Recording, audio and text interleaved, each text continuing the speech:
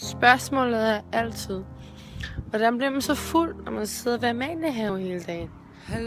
Nu er jeg bare på vej hjem, og jeg er bare nu, nu får I nogle monologer for mig, der er på vej hjem.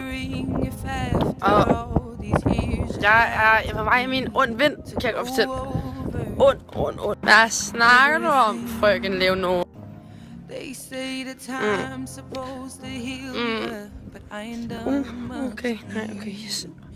Vi er på vej videre. Vi er næsten hjemme. Husk, Hille. Alting er sjovere, når man snakker om det i tredje person. Alting er sjovere.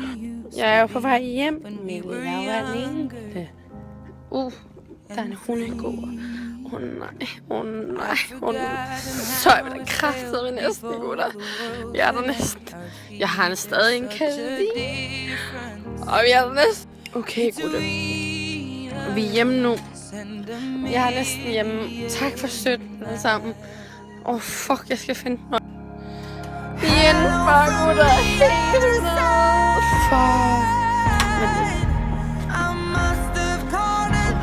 shit, fuck helvede. Sådan. Jeg synes, skulle det have været rart med støtten alle sammen. Nu sidder jeg her på toilettet. Jeg skulle virkelig pisse åbenbart. Jeg skulle virkelig pisse. Hold kæft, you have a bad day,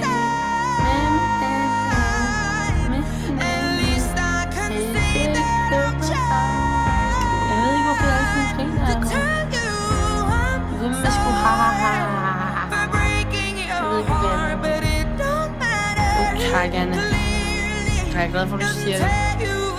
Egentlig faktisk. Faktisk bare, du synes, smøg og glas vand.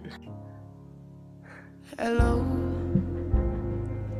how are you? Her kunne jeg ikke sove. It's so typical of me to talk about myself. I'm sorry.